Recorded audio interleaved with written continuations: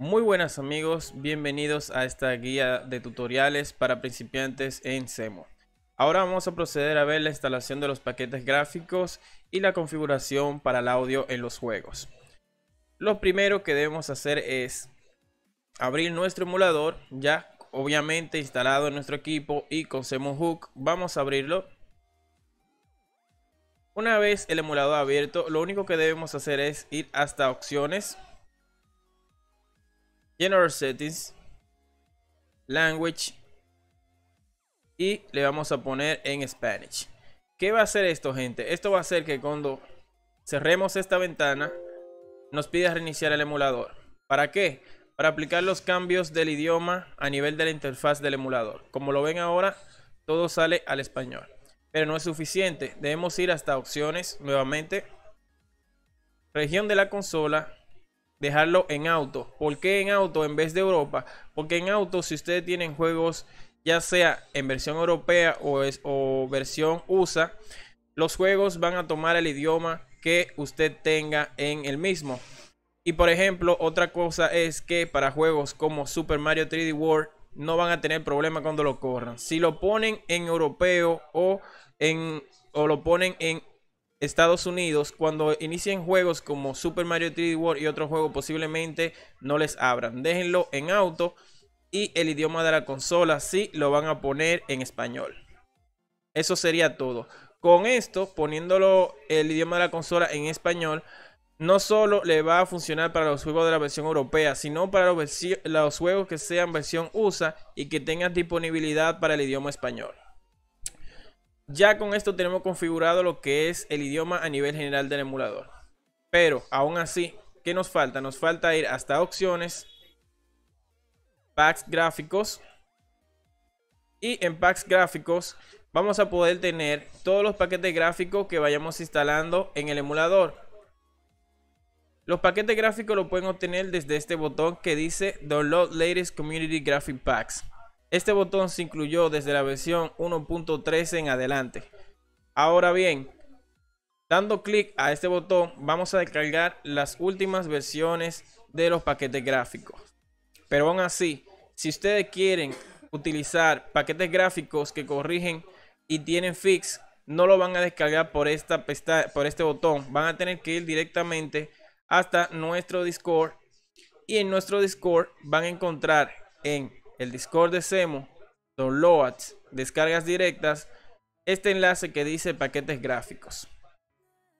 Haciendo clic sobre este enlace, se van a ir hasta esta página y en esta página también lo pueden descargar dando clic a este botón. Cuando den clic a este botón que está acá, le va a descargar todos los paquetes gráficos comprimidos en un solo archivo. Lo descomprimen, se van hasta la carpeta del emulador y en la carpeta del emulador lo van a descomprimir donde dice Graphic Packs. Aquí dentro. Ahora bien, también pueden descargar paquetes gráficos por separado y introducirlo dentro de la carpeta Download Graphic Packs si pudieron descargarlo con el botón que le provee el mismo emulador. Me refiero a este botón. Perfecto. También los mods se pueden acá poner. Solamente tienen que ir a nuestro Discord, ir hasta la sección de mod packs. Y aquí están todos los mods para todos los juegos. Dígase Super Smash Brothers. Dígase también Zelda Breath of the Wild y otros títulos más. Tenemos una sección de paquetes gráficos y mods que son solamente para nuestros patronos. En todo caso, cuando descarguen el mod solamente deben descomprimir el mod y ponerlo acá adentro. Vamos a ver un ejemplo de ello.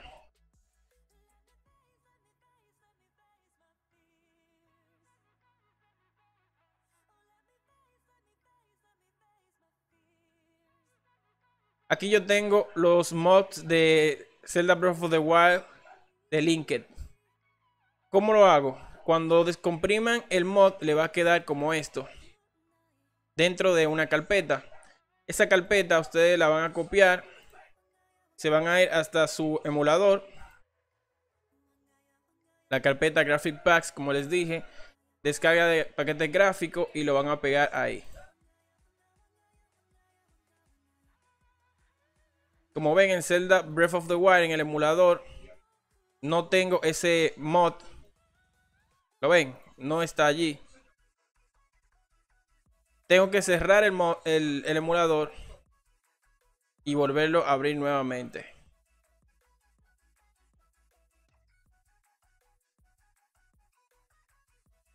Legend of Zelda Breath of the Wild.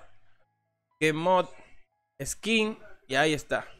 Ese es el mod que transforma a Link en Linked. Entonces amigos, otra cosa. Todos los mods tienen en una descripción donde dice qué efecto tiene el mod sobre el juego, sobre el personaje en el juego. Por ejemplo, el de Linked dice que cambia a Link por Linked, textos, audios, ropas y demás. Eh, y en DLC en la versión USA. Que sea para la versión USA no implique que no signifique en la versión europea también. Eso sería todo por la parte de los paquetes gráficos, la instalación y los mods. Ahora, vamos a explicar un poco cómo funcionan algunos packs gráficos en específico para algunos juegos. En The Legend of Zelda Breath of the Wild, los packs gráficos que ustedes van a necesitar son este, el Clarity, los workaround, muy importante los workaround, a las personas que tengan procesadores, eh, mejor dicho, procesadores gráficas AMD o Intel, tienen que tener puesto este eh, pack gráfico. Este pack gráfico es para las tarjetas AMD y para las gráficas integradas, las cuales yo no recomiendo. Y eh, esto es para los las gráficas de Intel, las Nvidia, tienen que ponerle esto y esto. Pero son para gráficas integradas, amigos. Activamos este otro. Este. Y este Nvidia Explosion Smoke es específico para las tarjetas Nvidia. No funciona con las tarjetas AMD. Esto lo que corrige es el humo en las explosiones por bombas y demás cosas.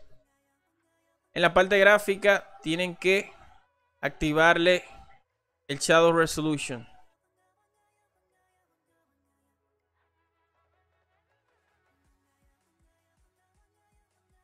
Esto de mods es, son como, eh, como si fueran los cheats para el juego. Pueden tener activo con esto el modo amiibo. Ponerles el shading al juego, lo cual no es necesario. Y estos son unos fix para el brillo, que sí se lo vamos a activar. Este es un chix para extender más el día. Si quieren lo activan, si no, no, es opcional. Y esta otra que está acá, que dice FPS Plus Plus, es una de las más importantes. Deben activar solamente y únicamente la que dice Dynamic Game Speak. Esta acá le pueden eh, habilitar desde acá, desde el Dynamic Game Speak Dice que sea para un averaje de 30 eh, de 32 FPS. Esto es para la persona que no alcanza los 30 FPS. Ahora, para la persona que sí alcanza los 32 eh, FPS o los 30 FPS, activen el Fence Meadow. Y aquí eh, pónganle donde dice Performance Fence.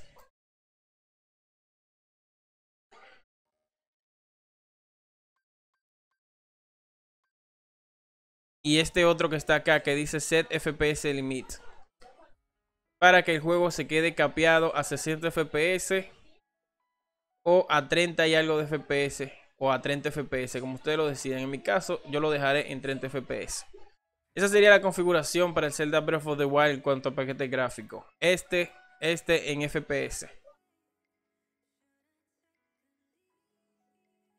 en los mods el amiibo si lo quieren es opcional.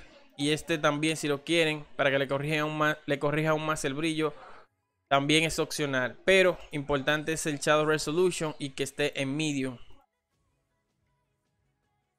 para los, las gráficas integradas estas dos esta va obligatoria aunque ustedes no tengan tarjetas integradas esta y esta el No Depth of Field y el Clarity. Y eso sería todo para Zelda Breath of the Wild.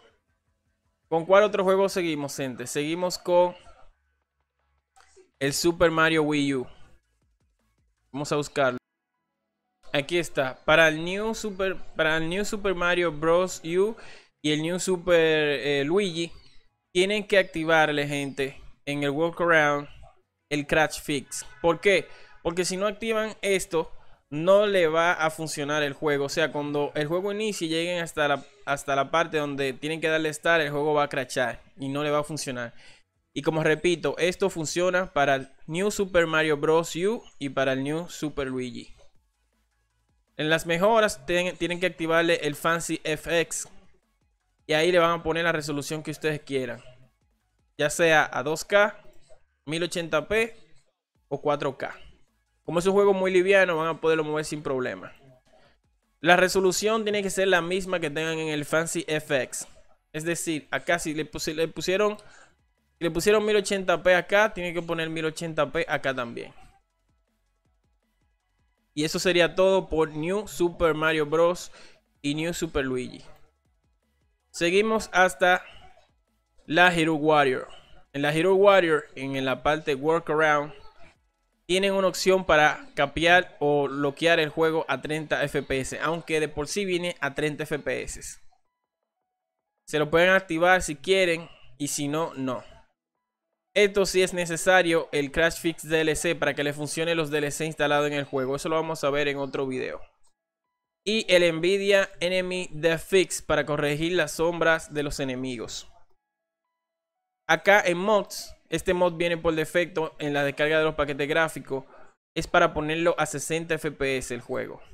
Ya que como dije anteriormente es a 30 FPS. Mejora para ponerle un tipo de contrasto, el que ustedes quieran. Yo usualmente utilizo High Contrast o Colorful. Pero ustedes sabrán, esto es opcional. Y en los gráficos, obviamente, le vamos a poner lo que es la resolución al juego.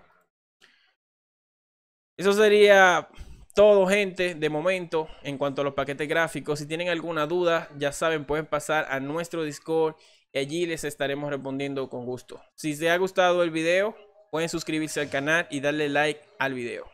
Hasta la próxima.